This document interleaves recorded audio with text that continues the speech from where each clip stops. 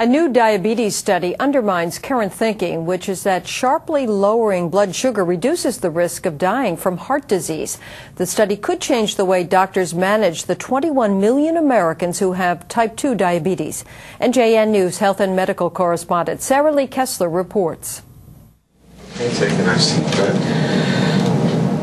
A major national study of more than 10,000 type 2 diabetics tested the accepted dogma that lowering blood sugar to very low levels reduces the risk of death from heart disease. In fact, researchers found the opposite.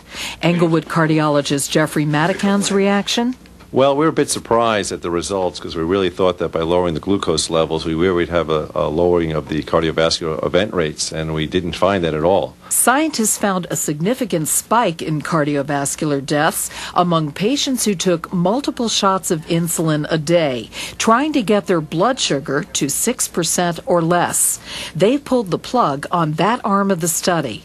The results inject an element of uncertainty into what doctors have always believed about blood sugar that lower is better because it reduces the risk of heart disease and therefore saves lives. It does set that on its head a little bit. Dr. Joseph Giangola is the diabetes chief at Hackensack University Medical Center. Well, we didn't know where the lower limit was. In other words, how good does your blood sugar have to be? We didn't know where that floor is. In fact, that's the reason the study was being done.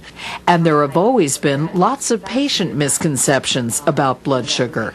They think, uh, you know, if, if, if carbs are going to make their blood sugar go up, no carbs are better. And that's absolutely not what we're looking for. We want some carbs. Okay. This new study is important for this reason if you've got diabetes and you already have illness, that is, you already have established heart disease or blood pressure and high cholesterol, you may not want to get your sugar very tightly controlled. They want me to keep it in a range is, you know, that's good for you, not as low as I can go. It's, you know, keep it at a normal range where it should be like everybody else who does not have sugar. The American Diabetes Association says 7% is a good target number.